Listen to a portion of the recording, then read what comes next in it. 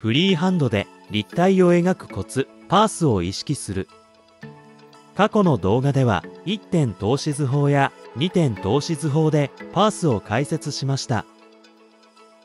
しかし車や何かイラストを描くときに毎回透視図法を使うわけにもいきません。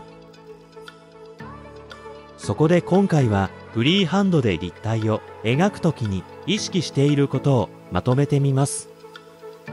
まずは透視図法で描いた立体を観察してみます。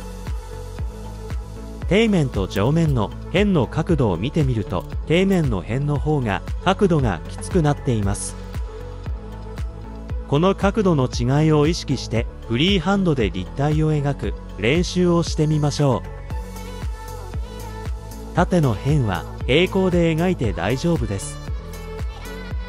必ず底面の辺の角度が上面の辺よりつくように意識します。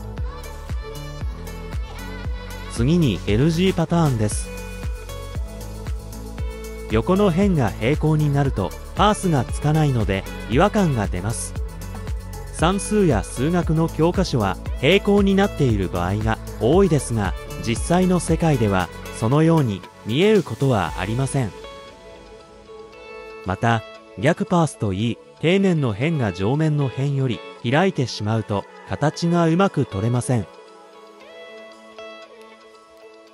車を描くときには、車の地面に落ちる影、バンパーの底面、アイレベル目の高さは水平、ルーフの上面、この辺りを意識してパースをつけてみてください。日々精進。